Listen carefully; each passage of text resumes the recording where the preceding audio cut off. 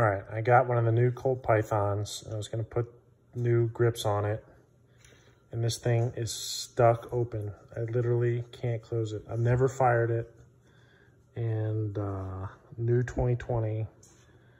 And this is like stuck. I'm pretty strong, but seeing if any of you guys ever seen anything like that where the new Python can't be closed.